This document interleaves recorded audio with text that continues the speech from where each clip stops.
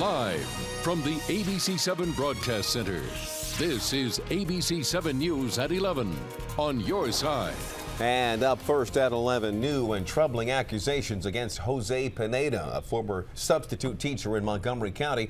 Charges filed against him stem from an alleged incident at Roberto Clemente Middle School. But tonight, school officials tell ABC 7 that he worked at 20 schools in the area, a total of more than 100 days. And with those schools come more students now who say they were victimized by Pineda. Tom Roussey live in Gaithersburg tonight. So, Tom, how long has he taught in the county? Well, Allison, at least since the beginning of last school year. And, you know, he spent more time at this middle school here, Ridgeview, than any other school, 29 days. And it's this school that some of the new accusations are coming from.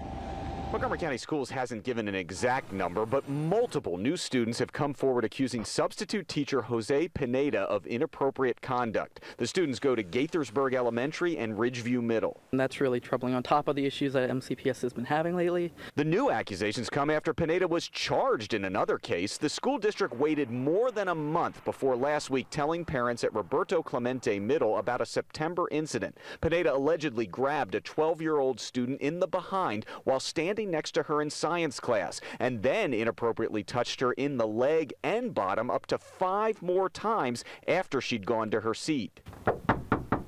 At Pineda's Gaithersburg townhome, a light went off upstairs after our knock, but no one answered.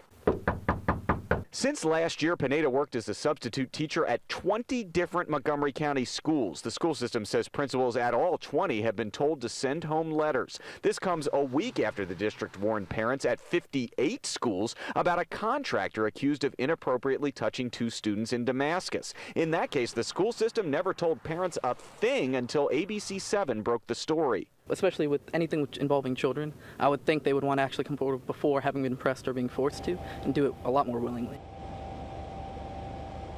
Now, the school system says police are investigating the new accusations against Pineda. As of right now, no new criminal charges have been filed against him. Live tonight in Gaithersburg in Montgomery County, I'm Tom Roussey, ABC 7 News. All right, Tom.